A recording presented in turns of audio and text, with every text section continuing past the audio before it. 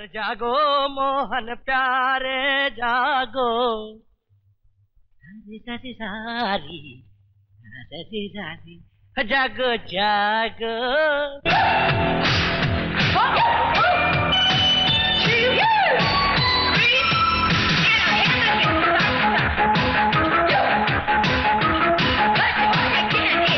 छोटी मालकिन। अरे ओ छोटी मालकिन। क्यों चिल्ला रहे इतनी ज़ोर से? अरे ये इतनी ज़ोर से आपने अंग्रेज़ी म्यूज़िक लगा रखा है उसको बजाई जा रही है बजाई जा रही है बजाई जा रही है। चिल्लाए नहीं तो और क्या करे हाँ? ये बेहुदा संगीत नहीं एक्सरसाइज चल रही है। तुमसे कितनी बार कहा है कि तुम और हम भी आपसे कितनी बार कह चुके हैं कि आपके शरीर से चमड़े की तरह चिपके हुए कपड़े आप क्यूट पड़ांग बातें हमको बिल्कुल पसंद नहीं। अरे भाई आप एक अच्छे खानदान की अच्छी लड़की आपको चाहिए कि आप सवेरे उठ के प्रार्थना करें पूजा करें। ये क्या सवेरे सवेरे उठ पटांग नसर टांग music? One two four nonsense बड़ी शेख मूंगफली। बस बस अपनी एक्टिंग बंद करो। एक्टिंग क्या गुल खिलाएगी? आप नहीं जानती छोटी मालकिन। मैं तो कहता हूँ कि आप मेरा ऑटोग्राफ ले लीजिए वरना एक दिन वो भी आएगा जब ऑटोग्राफ लेने वाली लड़कियों की लाइन लगी होगी और आपको मुझ तक पहुँचने के लिए रास्ता भी नहीं मिलेगा। हाँ। पागल। जाने से पहले एक बात और कह के चला चाहता हूँ कि दूध पी लीजिएगा। जी हाँ। मर गया। अब विक्की बाबू अगर आप मेरे को मारे नहीं तो मैं अंदर आऊँ। बिल्कुल अंदर मत आना साले मार मार के टांगे तोड़ दूँगा। सुबह सुबह सोने भी नहीं देते। विकी बाबू देर से उठना सेहत के लिए बुरी बात होती है। और जब आदमी की सेहत खराब हो जाती है ना जानी तो अच्छे अच्छों को याद आ जाती है नानी। हम तो सिर्फ़ एक ही बात कहेंगे कि देर से उठना बुरी बात होती है अब बुरी बात होती है और तीन बार अब बुरी बात होती है। साले खुद तो तू लेट उठता है और मुझे सबक सिखा रहा है चला साहब जी आजा आजा मैं तेरा इंतज़ार कर रहा था। वेट कर रहे थे साहब जी। ओह क्या हो गया? ओह, बहुत तबीयत खराब है साहब जी। हाँ, तबीयत खराब है इसलिए देर हो गई। हाँ। हाँ हाँ। ये ले। ये क्या है साहब जी? ये घड़ी है। मगर मैं इसका क्या करूँगा? क्योंकि जब भी तुझे देर हो जाती है तुझे नए नए बहाने बनाने पड़ते हैं। कभी तेरा पेट खराब हो जाता है कभी तू घर के कामों को कोसने लगता है। कभी ये कहता है कि घड़ी नहीं थी इसलिए वक्त का पता ही नहीं चला। देर हो गई। नहीं साहब जी अब देरी नहीं होगी। अरे देरी तो होगी। क्यों क्यों? बड़ी सीधी सी बात है। तुम ठहरे कलाकार आदमी। हाँ? कलाकार कोई क्लर्क की तरह होता नहीं जो वक्त के हिसाब से चलता है। और कलाकार का मूड भी होता है है ना? और वो कभी कभी अपने मूड में खो जाता है। हाँ हाँ ऐसे ही होता है। इसलिए मैं सोच रहा था अगर तुम जैसे कलाकार को अगर मौका मिले तो क्या हो? क्या हो पूरी दुनिया में तहलका मच जाए। पार क्यों हो साहब जी पार क्यों हो आप बिल्कुल ठीक कह रहे हो साहब जी। अबे साहब जी के बच्चे कितनी बार कहा कि फ़िल्मों का बुखार उतार दे वरना कहीं का नहीं रहेगा? अरे आप अभी तक यही हैं? आपको ऑफ़िस नहीं जाना है? और तुम्हें क्या हुआ? कलाकार की भावना को आज तक कौन समझ पाया ओ अच्छा वो याद आ गया। वो सवेरे नैना भाभी रवि भैया पे नाराज़ हो रही थी। उनको दस हज़ार का हार पसंद आया मगर रवि भैया को आपसे पैसा मांगते हुए शर्म मारी थी। कहना था कहीं कृष्णा? अब ये वक्त आ गया है। हम्म। खाम खा सुबह सुबह एक कलाकार का मूड खराब कर दिया आपने। भैया! अरे जल्दी करो भैया देर हो रही है। हाँ, आ रहा हूँ। रवि? जी भाभी। अब क्या हुआ भाभी? अरे चुप। ये लो रवि। ये क्यों? नैना को जो हार पसंद आया है वो शाम को आ जाना चाहिए। समझे? वाह भाभी हो तो आप जैसे। नहीं भाभी रहने दो। अरे ले लो। अरे ले लो भैया क्यों ड्रामे कर रहे हो हाँ? ले लो। चलो। थैंक यू भाभी। मगर आपको कैसे पता चला मुझे पैसों की ज़रूरत है? अरे भाई बड़ी सीधी सी बात है। वो अपना धागा है ना धागा? धागा? नहीं समझे? मैं समझाता हूँ मैं समझाता हूँ। क्या है? आप सब इस घर में मोती हैं। और वो जो पगला है ना कृष्णा वो एक धागा है जिसने सब मोतियों को पुरो कर रखा हुआ है। इसलिए पता चल जाता है किसको किस चीज़ की ज़रूरत है। वरना कैसे पता चलेगा हाँ?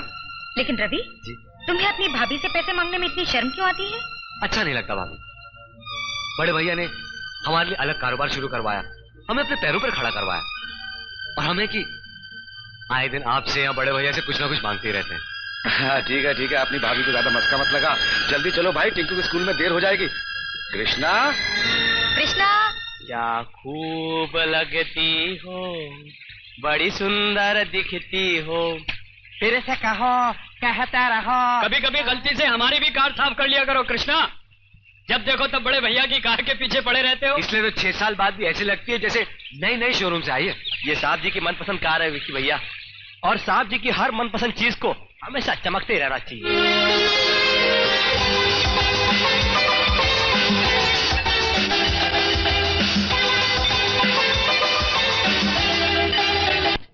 आइए आइए चौधरी साहब आज हमारी याद कैसे आ गई?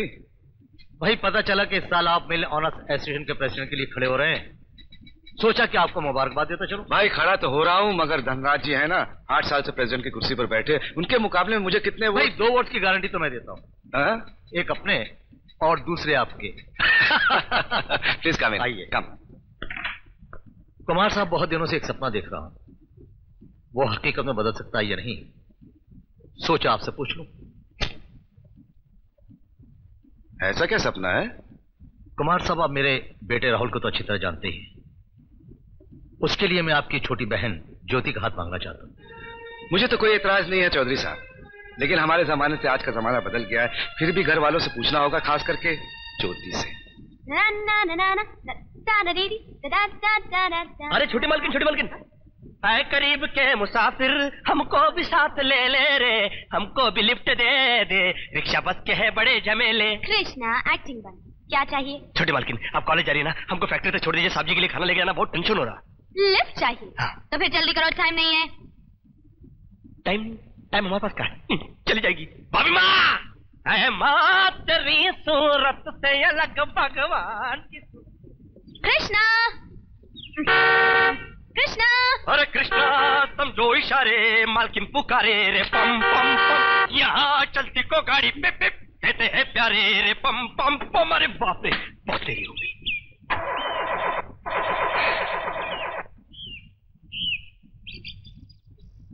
आप हमको ऐसा काय को देख रही हम तो नहा धो के पूजा पाठ करके आ रहे हैं। कृष्णा नीचे उतरो। धक्का मारो। चल बेटा कृष्णा लगा धक्का। अरे जय बजरंग बली।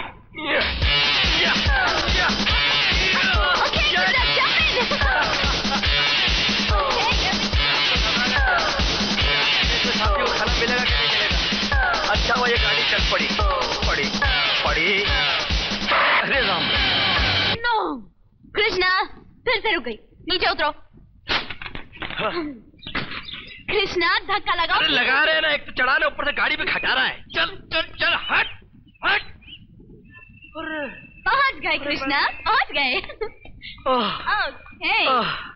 अरे छोटे मालकिन बहुत बड़ी गलती कर दी हमने आपसे लिफ्ट मांग के। आइंदा ऐसी गलती कभी नहीं करेंगे। थक गए कृष्णा। अरे नहीं छोटी मालकिन। पाँच मील इस डिब्बे को धक्का मार के कौन थक सकता है? छोटी मालकिन शहर में आपका कोई दुश्मन है? क्यों? ये डिब्बा उसको बेच दीजिएगा। अच्छा ठीक है ठीक है भेज दूँगी। और सुनो बड़े भैया को खाना देने के बाद पारस थिएटर से चार टिकटे ले आना। मैंने अपनी सहेलियों को आज फ़िल्म दिखाने का वादा किया। अरे वो तो ठीक है छोटी मालकिन। मगर इस डिब्बे का क्या करेंगे आप? यहाँ तक तो हमने पहुँचा दिया अब आगे कौन पहुँचाएगा? खुद ये डिब्बा।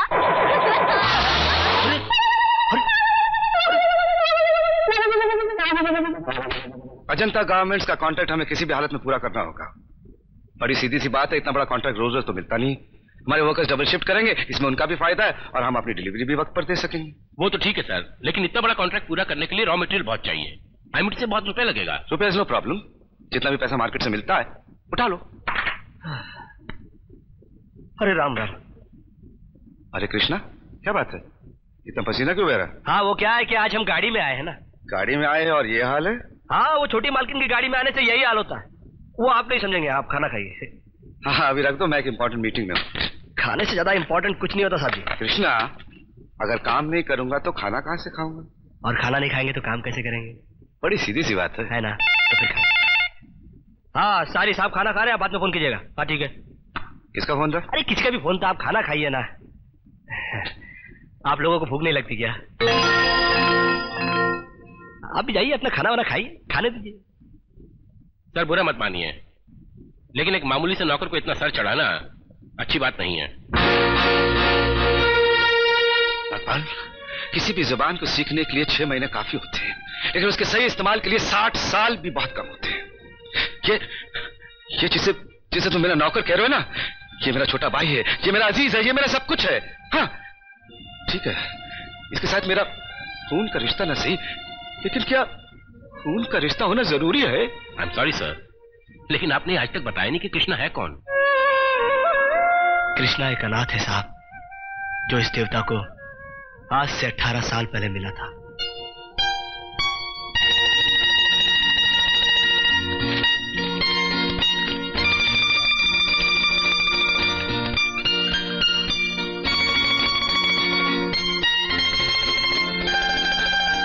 क्यों बेटे? आरजे? नहीं बाबूजी, ये तो इसकी रोज की आदत है। जब किसी भले आदमी को देखता है, उसका हाथ पकड़ लेता है। मगर आज तक किसी भले आदमी ने इस अनाथ का हाथ नहीं पकड़ा।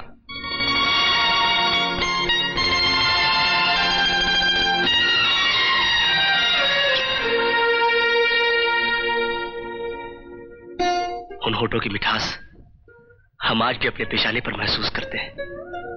उस दिन तक ये हमारे कोई नहीं थे। मगर आज आज ये हमारे सब कुछ है।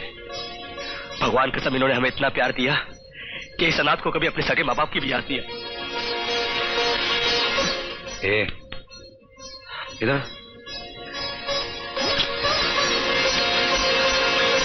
चल बहुत हो गया। है ना आप उठा सकते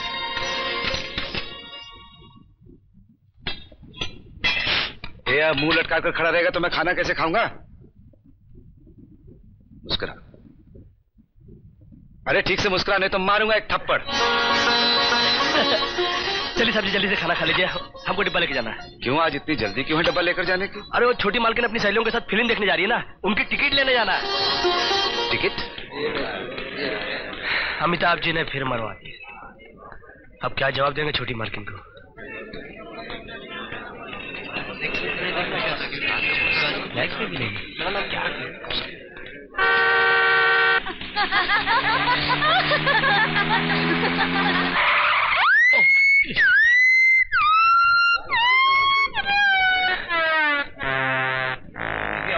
जगह छुपने के लिए सही है। अरे, फ़िल्म तो हाउसफुल हो गई ज्योति। अच्छा माना, मैंने कृष्णा को पहले ही भेज दिया, लेकिन उसे टिकट तो मिल जाएगी ना? अरे, तुम लोग कृष्णा को अच्छी तरह जानती नहीं वो बहुत होशियार है। लेकिन गया कहाँ तुम्हारा कृष्णा? कहीं दिखाई नहीं दे रहा? आ, आ गई हो गए तुम ओ कृष्णा छोटी क्या यार इतना टाइम लगा दिया? पिक्चर शुरू हो गई अपनी। क्या हुआ? कुछ भी नहीं हुआ। कुछ भी नहीं हुआ। कुछ भी नहीं हुआ छोटी मालकिन कुछ भी नहीं हुआ। क्या उल्टी सीधी बातें कर रहा है? अरे उल्टी सीधी बात नहीं कर रहा हूँ। सच कह रहा हूँ कि कुछ नहीं हुआ। और जो कुछ भी हुआ ना वो इनकी वजह से हुआ है। ना ये अमिताभ बच्चन यहाँ पर होते और ना ये हाउसफुल का बोर्ड यहाँ पर होता। पिछले दस साल से हैरान किए हुए जब जहाँ हाउसफुल हाउसफुल हाउसफुल। इसका मतलब तुम्हें टिकट नहीं मिली। अब अपने मुँह से कैसे कहूँ कि टिकट नहीं मिली? अरे ज्योति तुम्हारे कृष्णा ने तो सारा मूड खराब कर दिया। तुम्हारे कृष्णा ने तो सारा मूड खराब कर दिया। घर की मुर्गी दाल बराबर। अरे छोटी मालकिन आप एक टिकट में एक हीरो की फ़िल्म देखती ना हम आपको बिन टिकट तीन हीरो की फ़िल्म दिखा सकते हैं। नहीं। वो कैसे?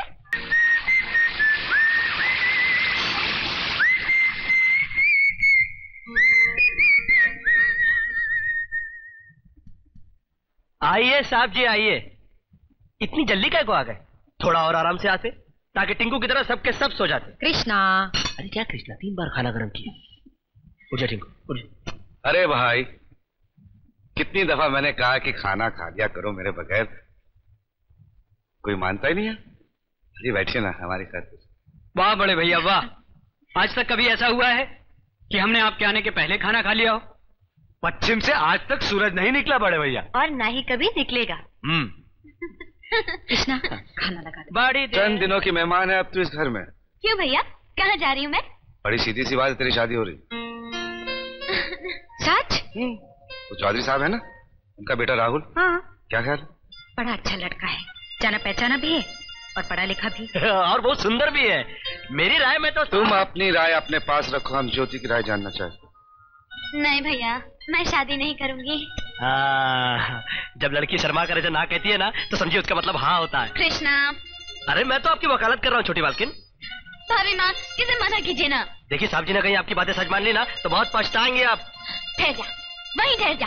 भागो कृष्णा प्यारे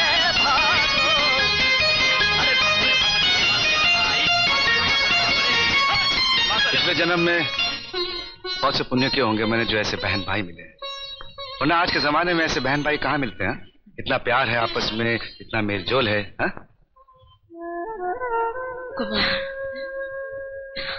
बेटा तेरी सौतली मारे आज तक तुझे ज़िम्मेदारी के सिवा कुछ नहीं दिया। और आज भी अपने बच्चों की ज़िम्मेदारी तुझ पर। माँ मैं मैं अपनी जान से बढ़कर प्यार करूँगा इन्हें। इनकी आँखों में कभी आँसू नहीं आने दूँगा ये वादा रहा। मैं जानती हूँ बेटे लेकिन अक्सर अपनी औलाद हो जाने के बाद तुम्हें हमेशा ये डर सताता रहा है ना माँ? तो ले।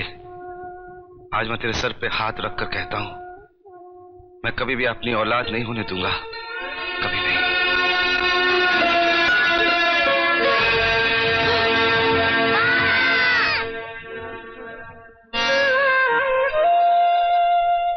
मैं तो जब भी इन्हें देखती हूँ तो ऐसा लगता है हमारी कुर्बानी बेकार नहीं गई। इन्होंने कभी हमें अपनी औलाद की कमी महसूस नहीं होने दी है ना? हम्म। और जानकी जानती है, जब मैंने इस घर का नाम स्वर्ग रखा था, मैं जानता नहीं था कि वाकई ये स्वर्ग हो जाएगा। साइलेंस साइलेंस प्लीज़ जैसा कि आप सब लोग जानते हैं, मिल ऑनर्स एसोसिएशन के प्रेसिडेंट के लिए इस साल दो उम्मीदवार खड़े हो रहे हैं। एक हैं श्री धनराज जी, जो पिछले आठ सालों से इस कुर्सी की ज़िम्मेदारी संभालते चले आ रहे हैं। और दूसरे उम्मीदवार हैं श्री कुमार साहब जो पहली बार प्रेसिडेंट की पोस्ट के लिए खड़े हो रहे हैं। श्री धनराज को 11 वोट मिले हैं और श्री कुमार साहब को 13 वोट।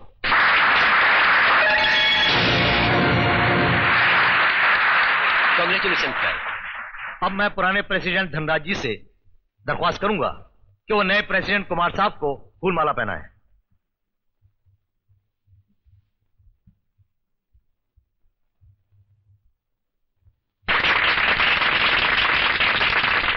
मैं समझ सकता हूँ, सेठ जी। आठ साल से जिस कुर्सी पे आप कब्जा जमाए बैठे थे, आज एक पल में उसके छिंजाने से आपको कितना दुख हुआ होगा। लेकिन किया भी क्या जा सकता है? यह कुर्सी भी बेवफा महबूबा की तरह है। आज इसकी तो कल उसकी। आज कुमार साहब को मिली है, कल फिर आपको मिल जाएगी।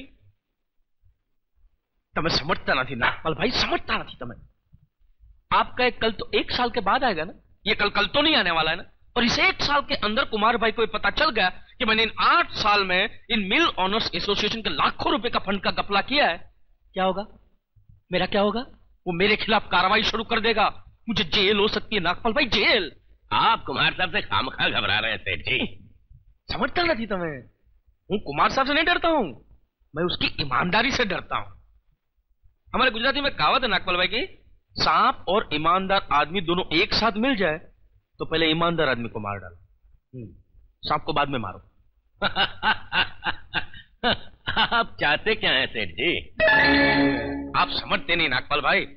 ये आदमी साला पहले से मेरे सर का दर्द बना हुआ है। जब देखो तब साला मेरे सामने दीवार बनकर खड़ा रह जाता है। अभी अभी ये थोड़े दिन पहले की बात है ये ये अजंता गारमेंट वाला। ये अजंता गारमेंट की कंपनी का कॉन्ट्रैक्ट जो आपकी कंपनी को मिला ना वो पहला मुझे मिलने वाला था मुझे। ये पहली बार ऐसा नहीं हुआ है। हर बार ऐसे होता रहा है। इस तरह उसकी कंपनी को कॉन्ट्रैक्ट पे कॉन्ट्रैक्ट मिलते रहे तो मेरी कंपनी को तो ताला लग जाएगा। सेठ जी ज़िंदगी भर दो हज़ार रुपए की नौकरी ना करने पड़े इसलिए मैंने आपके साथ हाथ मिलाया और जब हाथ मिलाया है तो आपकी मदद करना मेरा फ़र्ज़ बनता है। आप सिर्फ़ बताइए आप चाहते क्या हैं? तुम्हारे कुमार भाई की बर्बादी। नागपाल भाई मैं जैसा बोलता हूँ वैसे तुम करते जाओ। ये तुम्हारे कुमार भाई को आसमान से खींचकर ज़मीन पर न गिरा दूँ। तो मेरा नाम भी धनराज नहीं। सर मार्केट से काफ़ी लोन उठा चुके हैं। अब भी पचास लाख कम पड़ रहा है। चौधरी साहब से हमने फ्रेंडली लोन मांगा था। क्या हुआ? भिजवाया नहीं उन्होंने? सर इतनी बड़ी रकम है कोई भी सिक्योरिटी चाहेगा। चौधरी साहब ने कहा? जी नहीं उनके वकील ने। ऐसे ठीक है सिक्योरिटी के तौर पर हमारा बंगला गिरवी रख दो। कागजात पर साइन कर दो ओके सर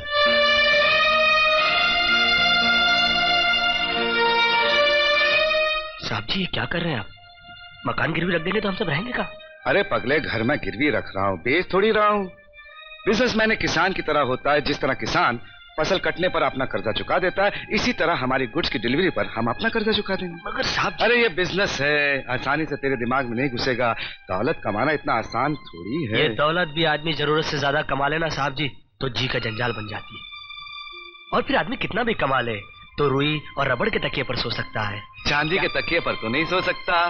बात तो तूने सही कही लेकिन ये बता आजकल तू इतना रुपया क्यों ले जाने लगा है? अरे साहब जी हमारे जो तो छोटे साहब हैं हाँ? वो दान पुण्य के मामले में आपसे कम थोड़ी है। अभी अप, अपने विक्की भैया कह रहे थे कि दस हज़ार रुपया अनाथ आश्रम में दान करना हाँ। दान पुण्य तो करना चाहिए। सर वर्कर्स बहुत खुश हैं। काम भी बहुत जोरों से चल रहा है। लगता है मजंता गारमेंट्स का ऑर्डर वक्त पहले नमस्कार कुमार साहब केम छो? नमस्ते। कैसे हो धनराज? मैं तो अच्छा हूँ कुमार साहब। लेकिन आप मेरे साथ कुछ अच्छा नहीं कर रहे हैं। उड़ते उड़ते मेरे कान में खबर पहुँची है कि आप मेरे खिलाफ कुछ कार्रवाई कर रहे हैं। मैं आपकी बहुत इज़्ज़त करता था धनराज जी। कभी सोच भी नहीं सकता था कि आप जैसा आदमी ऐसी बेईमानी का काम करेगा। શું વાત કરો છો बेईमानी और मैं ये तो दो बातें कुमार साहब जी नहीं दोनों बातों का एक ही नाम है सेठ धनराज बड़ी सीधी सी बात है आपने मिल ओनर्स के फंड में लाखों रुपए की हेरा फेरी की आपने प्रेसिडेंट की कुर्सी का नाजायज फायदा उठाया है कुर्सी का फायदा कौन नहीं उठाता कुमार साहब बेईमानी से तो सारी दुनिया चलती है अब ऐसा कुछ कीजिए ना कि ऐसा कोई रास्ता निकालिए ना कि मैं भी मगजमारी से बच जाऊँ और आपकी परेशानी भी दूर हो जाए। देखो उसके लिए आपको मेरे पर कुछ गिरवी भी नहीं रखना पड़ेगा हाँ? और ज़िंदगी में आपको कभी भी ये पैसे लौटाने की भी ज़रूरत नहीं है।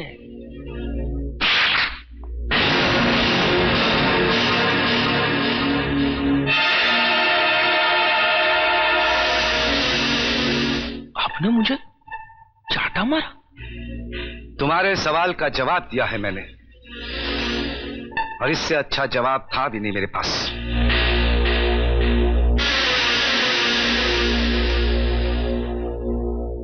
हमारे गुजराती में एक कहावत है कि खाना है तो चाटा भी खा लो, मगर प्याज के साथ वापस करो। प्याज के साथ लौटाऊँगा। प्याज के साथ।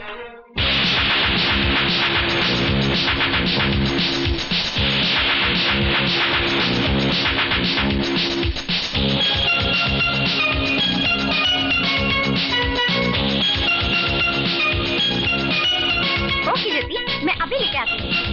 प्लीज़ ज्वाइन हर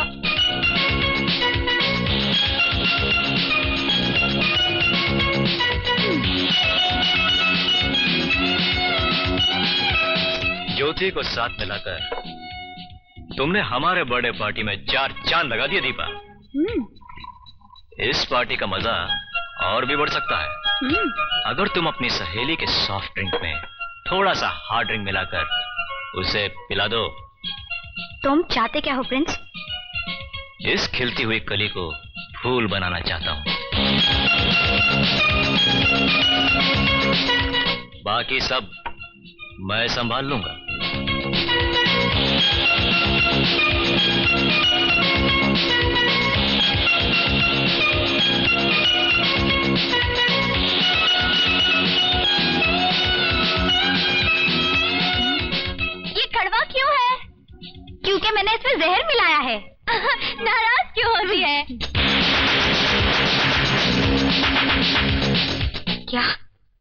ज्योति तुम्हारे घर पर भी नहीं है।